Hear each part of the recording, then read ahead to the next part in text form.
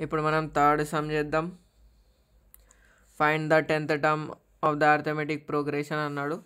అంటే మనం ఏ టెన్ కనుక్కోవాలి? ఫార్ములా ఏంది? A plus N minus one into D కదా. ఈ ఫార్ములా యూజ్ చేసుకొని కనుక్కుంటాం. కాకపోతే గివ్ గివెన్ సిరీస్ అని రాసుకుంటాం. Three comma five comma seven comma ఇట్లా. A equals to three common difference arithmetic ప్రోగ్రెషన్లు అంటే ఏముంటుంది? కామన్ డిఫరెన్స్ కదా ఆ D కనుక్కుంటాం. A two minus A one.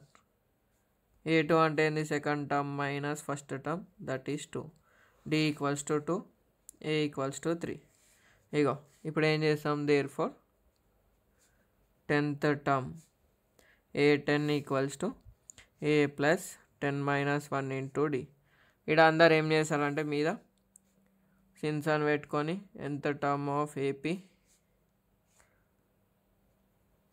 A N equals to A plus N minus one into D అని రాసుకుంటారు formula రాసుకొని రాసిన ఫరక్ ఏం పడదు మనకి. సో నేను ఈడ సాల్వ్ చేసుకుంటా. ఈడ ఇట అదే రాసినాం కదా. ఏ అంటే ఏముంది? Three plus ten minus one into D two so three plus nine into two three plus nine two sir eighteen three plus eighteen that is twenty one లాస్ట్కి ఏం చేసాం therefore A ten equals to twenty one ఇట్లా మనం కంప్లీట్గా రాయాలి నువ్వే problem చేసినా third one ఇంతే.